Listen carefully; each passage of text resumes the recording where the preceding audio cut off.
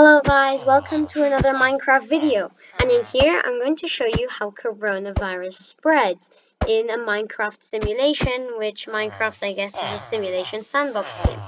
So, let's see how coronavirus works. And I don't need to tell you what coronavirus is, I know you already know, especially at this time of the year, on this year, 2021, and last year. But before I show you this COVID-19 simulation, please don't forget to like, subscribe, and share this video. So, I can make new videos and it helps me a lot. I can't do it without your help. So, without further ado, let's continue. So, I have a field of about 500 villagers, and all of them are ready to be infected by coronavirus. So I'm going to get a zombie spawner.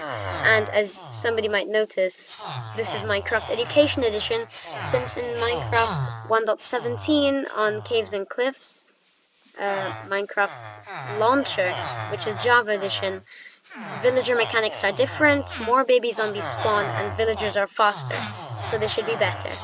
I'll spawn 5 villagers at the beginning, and they should catch more and more and more and more and more.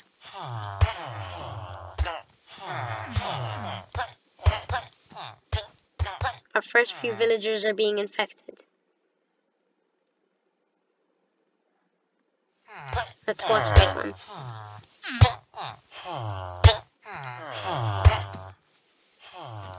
It's being infected. We have our first infection. We have no infections here, but it seems like one's about to happen. We have problem here. Get ready to be infected, villagers. Let's see what's happening here.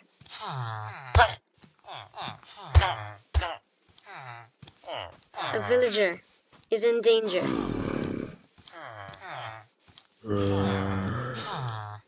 So, I'll tell you why in 1.17 it doesn't work. Because, look at this.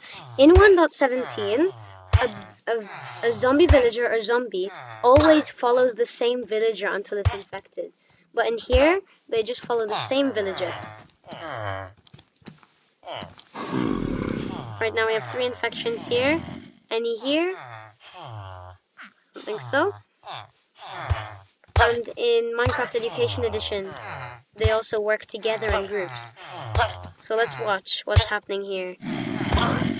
Work as a team. Zombies. More and more infections. So as the as the time marches on and the game ticks by, more and more villagers will be infected exponentially, just like in real life. So this is an almost hyper-realistic model of real life, except that it, it can't transmit through stuff like water and air, and arid climates don't count, so there's cold and hot.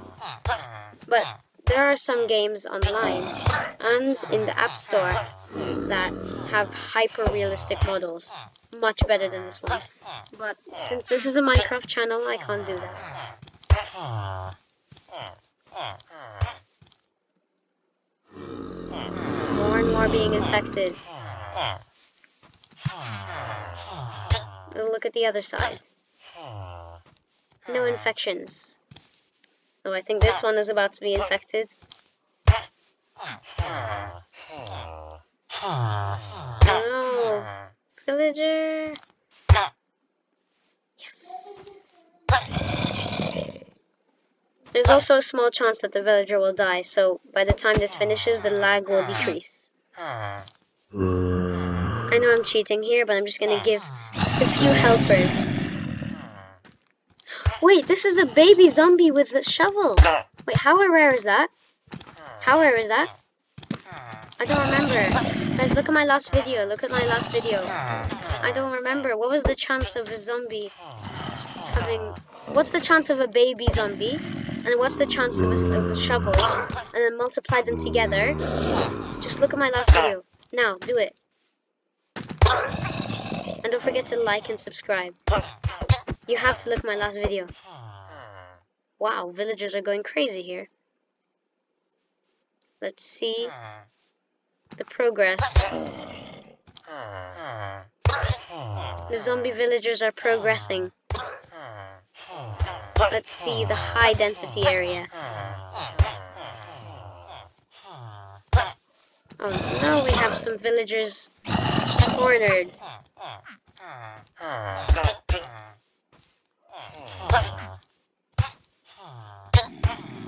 The villagers look like they're flying because time slows down when your computer's lagging. It just looks really funny. Just watch those villagers fly. Bang! It's really working. Infections are increasing faster and faster and faster. Just look at that. How amazing is that? Amazing. I'm going to take a screenshot of that.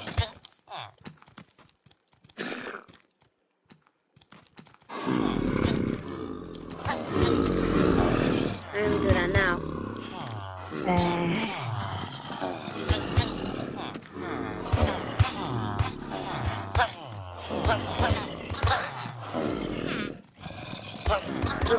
see.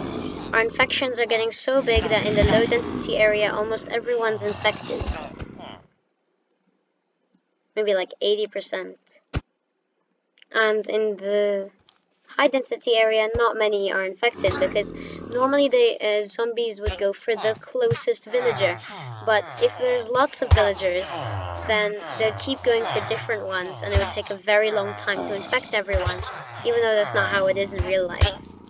Coronavirus does not choose where to go, it just happens to go somewhere. So now we have this giant tribe of zombie villagers.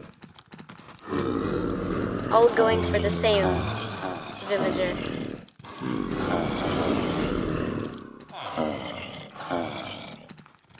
Oh no, this guy's in trouble.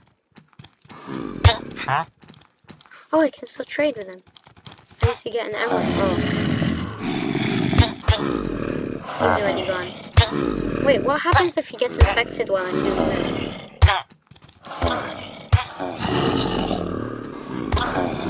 Oh, okay. Let's see what's happening here. Still nearly nothing. But we do have a small tribe here and a small one here. Oh, we have large tribes. Whoa, look at this. Wow, okay, now like maybe 30 or 50% of the population is all infected.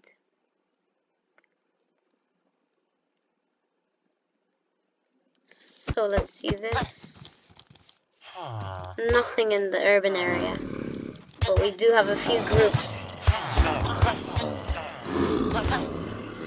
If you go back oh. to near the start of the video, you can just see how the number of villagers that have been infected increased like exponentially. And if you don't know what exponentially means it means for something to grow faster and faster and faster such as multiplying by 2 constantly or multi multiplying by itself squaring multiple times. So 1 2 4 8 16 32 would be an exponential chain almost every villager has been infected with coronavirus and even the urban urban area is being taken over.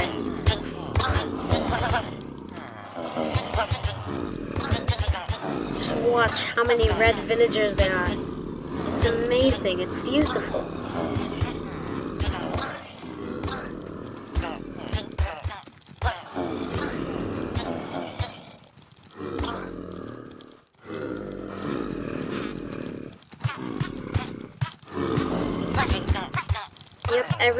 Urban area is gone.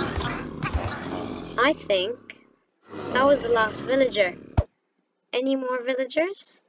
I don't think so. So now every single person in, I don't know, what should we call this place? Zombie Town is infected with coronavirus. And I just want to take a screenshot. Where is that zombie?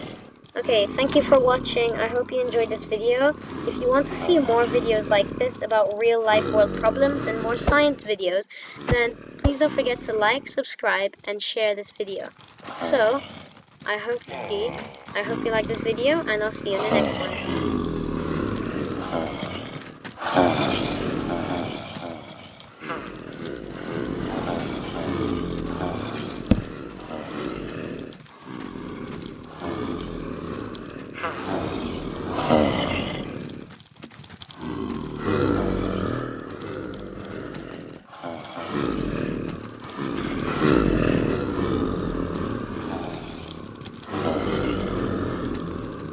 Yeah.